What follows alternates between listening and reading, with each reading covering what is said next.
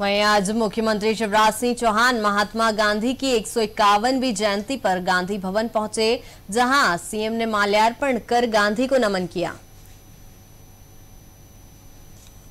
आज भी बापू जी नहीं मानी बातें नहीं मानी जो उन्होंने किया और जो उन्होंने कहा। ले क्या?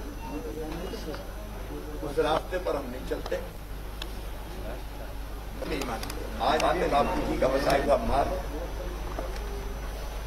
भौतिकता की अग्नि में दग्ध विश्व मानवता को शाश्वत शांति के पद का दिग्दर्शन करा सकता है। इसलिए हम बापू को तो माने, लेकिन बापू जी की भी माने, उनके बताए रास्ते पर चले। ये संकल्प मेरे सहित सबको लेने की आवश्यकता है।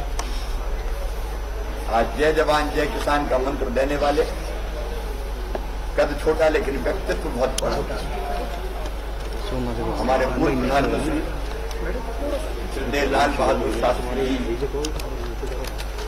का भी जन्मदिन है। प्रधानमंत्री के अल्पकाल में उन्होंने जो काम किए, देश की जैसी सेवा की तो अद्भुत और अभूतपूर्व है।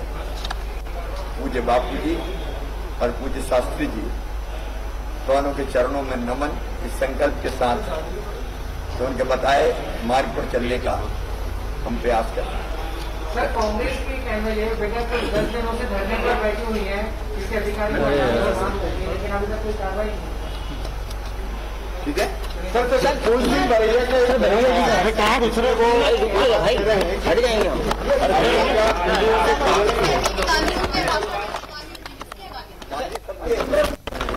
मेरे लिए सर